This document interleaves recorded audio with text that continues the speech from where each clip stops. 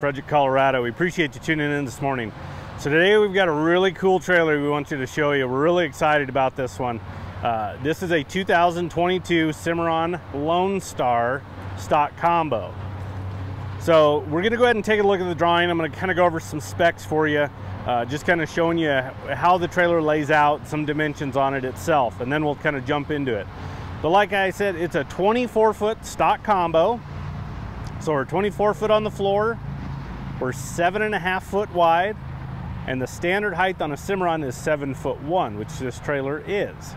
So on this one here, we've got a front tack room on it. It's a five six short wall with a four foot offset.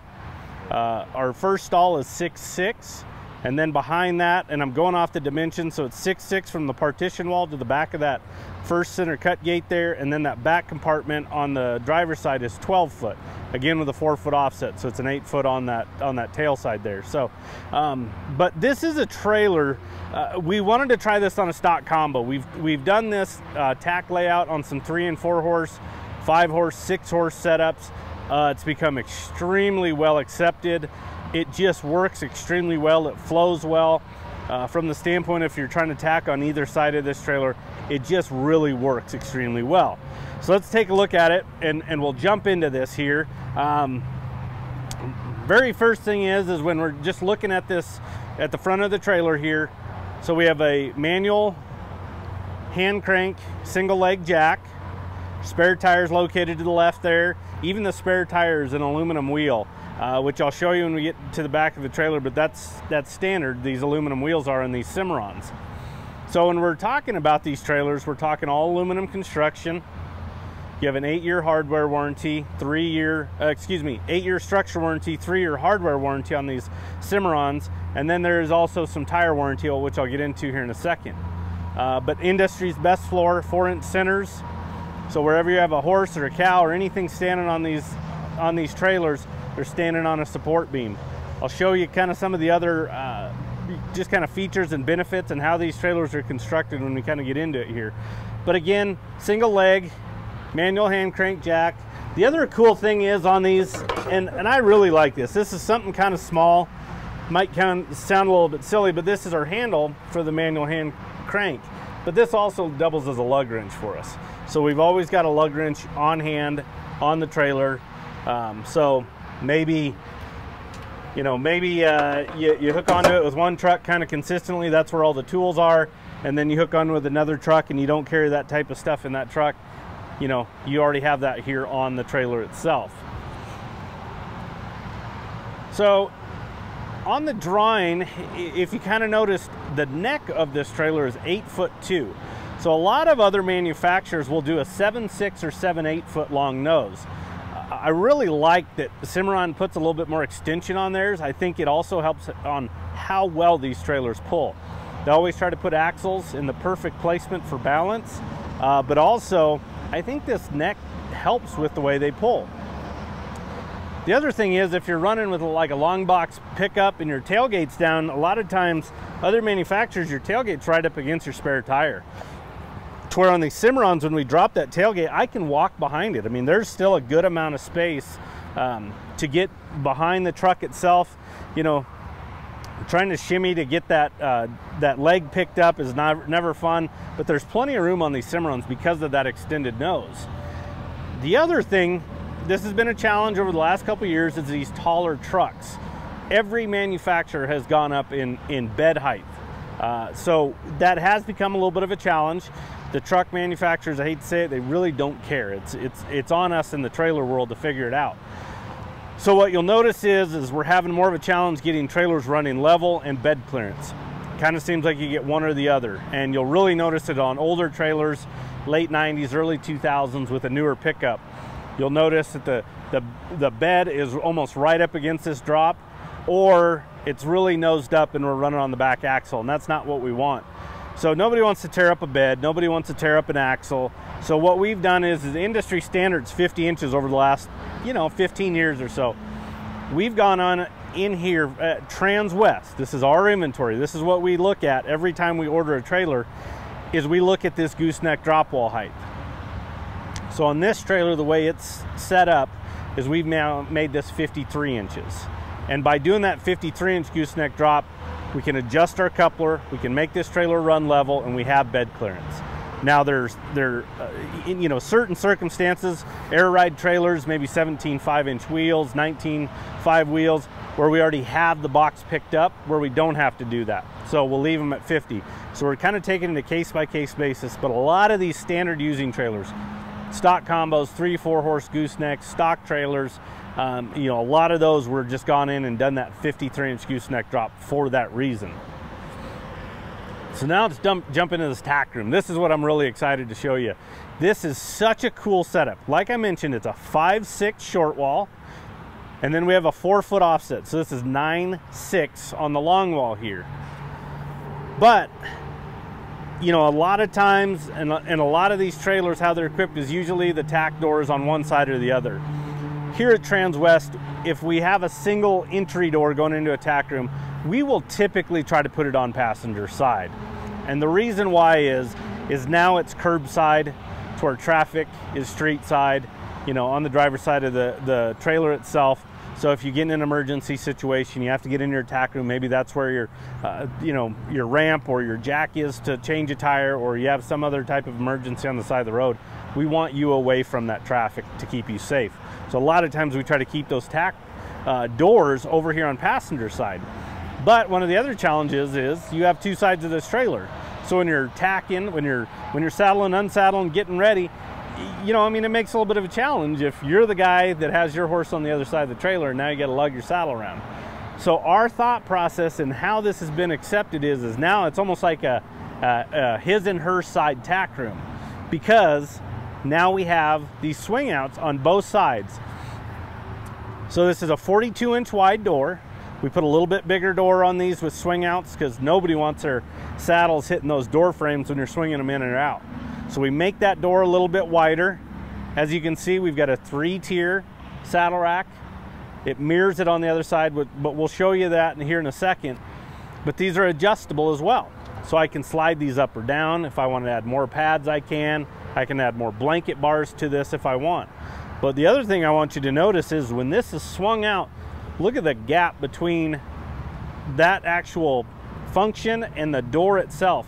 When that is swung out, I can walk into this tack room, even if there's saddles on here. To where a lot of other setups with a swing out, it fills up the whole door and you can't get in or out. So here it is out. It's just on a gas shock. So once it swings in, it'll tuck behind. Now look at this opening here. That's what's so cool about this setup that I'll show you here in a second when you step in. But there's so much room in this tack room. We put the step on the door. It just makes it a lot easier getting in and out of these trailers. Nice, easy uh, transition between the ground and actually into the tack room itself. You've got a uh, brush tray on the door for smaller miscellaneous items. And then we have a four tier blanket pole rack here on the door. It's on a gas shock as well. So it will swing out and then swing back against the, the door itself.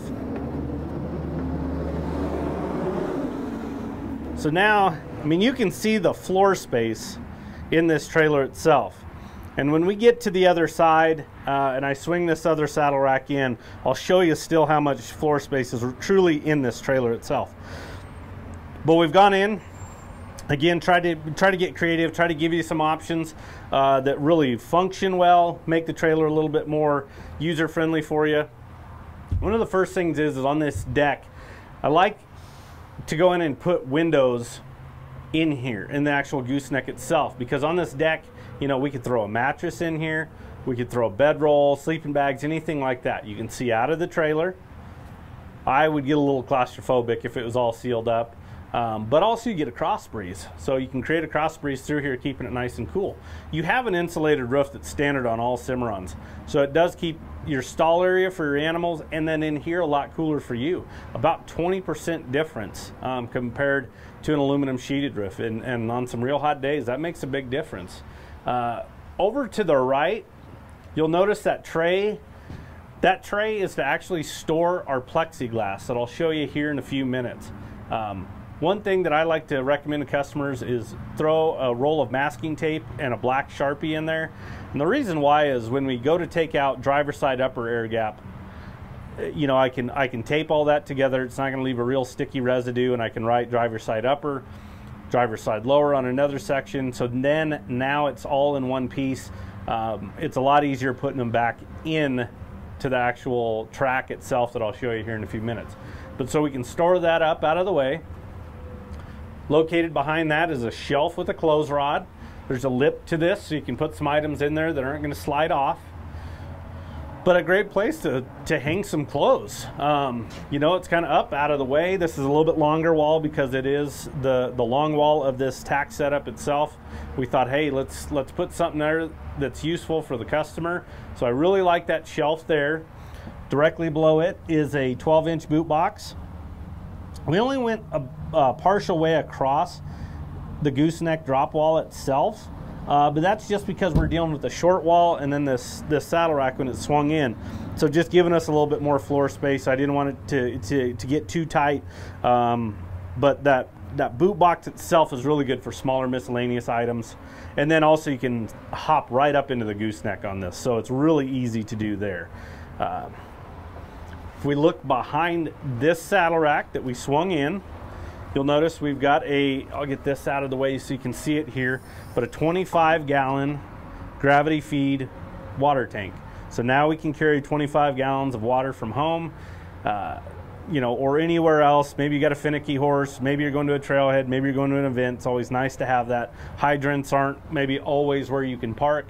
So this way you at least have some water on board. And again, it's just gravity feed. Carpeted the entire partition wall put you two rows of bridle hooks. We understand everyone's carrying a lot of stuff with them. We wanted to give you a lot of, of storage there. But again, a really good setup. And then we've also kind of thought maybe a little bit ahead for you. So up here on the ceiling is we've framed for our AC. Now, we, we would have to put a 30 amp power package to this trailer, but at least the framework's done. So you wouldn't believe on how simple it is and how small of an option it is to do this little piece when we're ordering this trailer on how much money and time that will save uh, if you do that after the fact. If we did not frame for that, again, it's going to take a lot of time, a lot of money to go in and frame for it and then, uh, you know, cut out that hole and then obviously put our power to it and then actual AC. But again, we kind of went ahead and just did that on this. We do that on our horse trailers because some people like to add that stuff down the road. The other thing is, is we put light switches on each door. So again, since there's two access doors to this, we wanted you to have the ability to whichever door you hopped in, you could reach in there and turn on those LED lights that are on the inside of that tack room. So now as we get out here, since this is seven and a half foot wide, you'll notice there's a little bit of a running board on each side of the trailer. And then obviously our wheel wells there. Those wheel wells are bolt on too.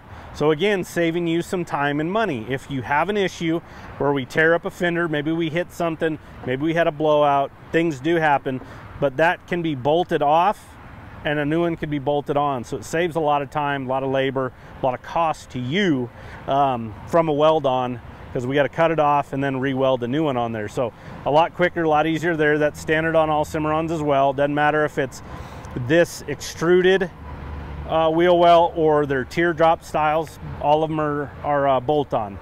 Two 7,000 pound Dexter rubber torsion axles, 16 inch wheels. You'll notice the green tab. These are nitrogen filled tires. Nitrogen will won't allow PSI levels to fluctuate drastically. They use them on airplanes. Think about altitude changes, temperature changes.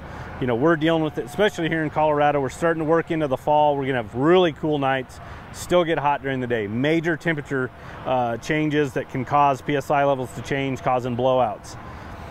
I mentioned a little bit on the standard aluminum wheels. So again, standard on all Cimarrons, but also you get one year, no questions asked warranty on these tires. So if you catch road debris, a nail, you have a blowout, you take some pictures of some codes, you send it in the Lionshead, they'll send you a new tire. You also have two years of roadside assistance on these. So again, just you know, a, a, a, company that stands behind their product. And Cimarron does a great job, and the vendors that they use do a great job as well. So since this is a stock combo, you know, a lot of times we can go in and you'll notice a lot of tie rings. Well, we opted to go ahead and put a tie rail itself. So the tie rail just gives you the flexibility to tie horses anywhere you want, multiple horses on, on either side of this trailer. The other thing, here's that plexiglass I was showing you. So upper and lower. What they always do is kind of from the from the front back, it's four foot from that point there to the middle of where we can insert the actual plexiglass into the track. Now this this track is standard on every single stock trailer that, that Cimarron builds. So even if you see a Cimarron that doesn't have this plexiglass, that track's there for you. You can go ahead and get that plexiglass. It's pretty easy. You just get one ahead of the other and it just slides right out. Again, I would take passenger lower, tape it together, ride on it, stick it up in that tray. Then again, I know exactly where these four pieces of plexiglass go when I go to put them back in the trailer. I don't want to be messing around like a puzzle trying to figure out where each one of them goes. So again, real easy to remove and replace. We put a load light here, a 16 inch awning light, shoots down and out. You get good light coverage over where you're gonna be saddling and unsaddling. Button lights are standard on all 22 models. They're really clean. They put off a lot of light. I think they look really sharp uh, on these trailers, really dresses them up well. As we get to the back here, you can see a single gate. Nice big cam latch over here to the left. Two eight inch awning lights, similar to that one we just looked at. Plexiglass in the back. One thing that's interesting is, and, and, a lot of people aren't aware of this, but think about when you're driving down dirt roads, back of your pickup, back of your vehicle, that that dust swirls at the back of the, the vehicle and it'll cover it. Well, that does the same on trailers when we're driving down dirt roads. But if we don't have these these uh, this plexiglass in here and have these air gaps open, it'll suck back into the trailer. So now our animals are going to be covered in some of that, but more importantly, they're going to be breathing it. So from a health standpoint, we like to, to have this plexiglass at the back or at least have that ability to if you are driving down those roads for that reason itself.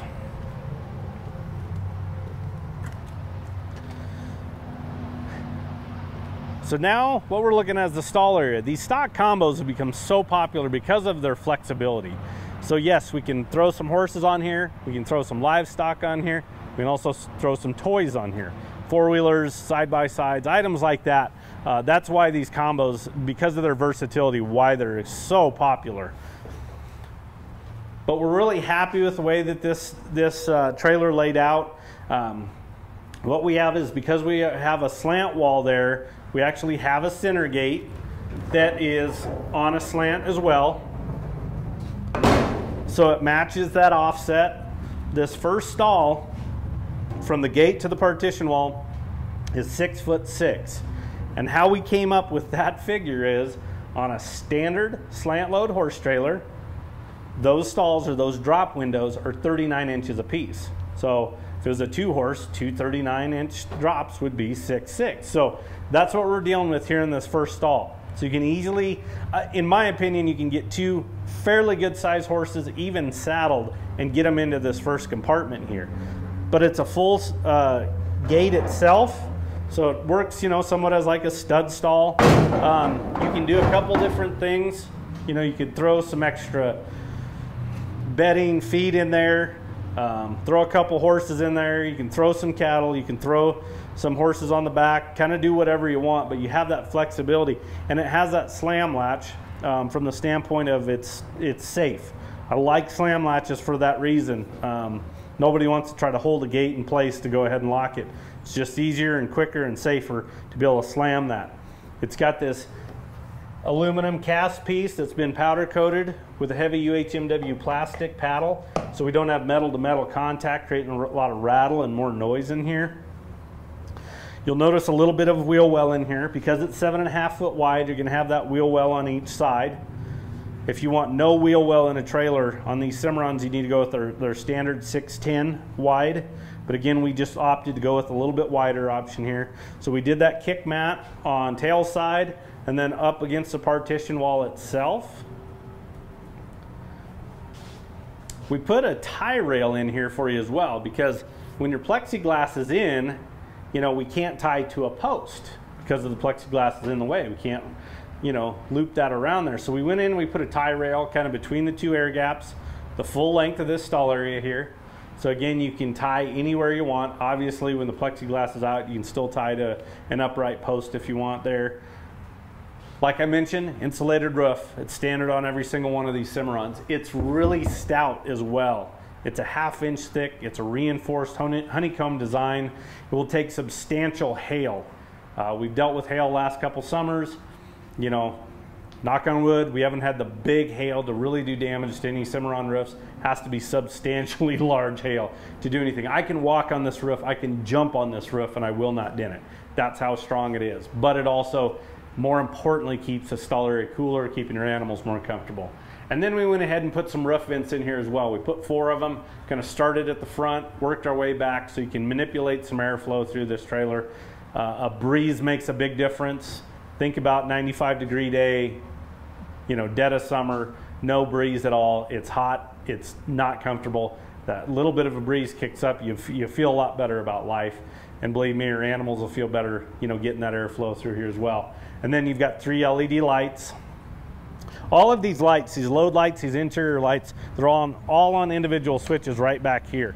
So I can run one side, the back, the other side, or the interior all individually. I don't have to have one, you know, everything on at once or, or uh, um, you know, one side or the other. You know, it, it gives you that ability to do whatever you want as far as flexibility goes on, on your light coverage.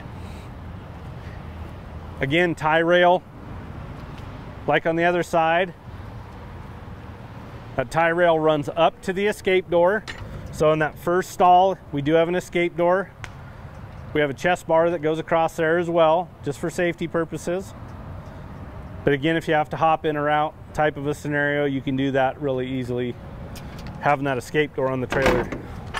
And then just ahead of that, there is our second tack door, again mirroring the other side.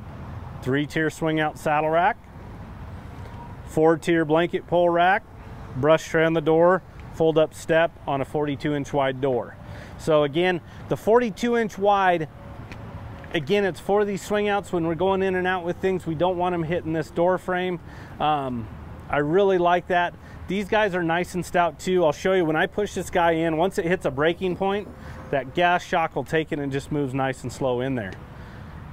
But again, we, we wanted to do a 42 inch wide because of that swing out. We had to have the, the proper bracing um, ahead of it and behind it. That's why we kind of like this 5-6 setup. And like I mentioned, now that this is swung in, here you can see this floor space. There is a ton of room in this tack room. So again, such a cool setup because you can do now, you know, either side you're tacking up on this trailer itself, you've got access into that tack room. Again, it was extremely well accepted on our on some other trailers, more of our traditional slant load trailers. But we wanted to try this on a stock combo. Uh, we just feel it's got a lot of, again, appeal to everybody on how this is. Now, maybe you're not set on a 24 footer. Maybe you want something a little bit shorter. Maybe you want something a little bit bigger we can do that. That we have complete flexibility when we're building a Cimarron trailer. I always tell everybody it is a fingerprint. Every one of these guys we can make different. We never order a standard trailer here at Transwest from Cimarron. We like to put our own little stamp on it, whether it's that 53 inch gooseneck drop, these type of tack setups, light setups, uh, gate setups. We can do a little bit of everything. So we can completely build this trailer to your specifications. If you want it 24 inches or 24 foot and three inches long, we can do it. We can do three inch increments. We can go taller, we can go shorter, whatever you want. I'm gonna give you the stock number on this one for reference. Again, it's a 2022 Cimarron Lonestar stock combo, 24 footer. Stock number is 5N 211003. So we've got some other combos on order. They're going fast. We've got 24s and 20s. Those are kind of our most popular. But again, if you want to put your own touch on it and build you something, if you have a little bit of time, we can help you out with that and walk you through the whole process. So give anybody a call on the sales team. That number is 303 684 3400. We appreciate you tuning in. Thanks for tuning in. Have a good day.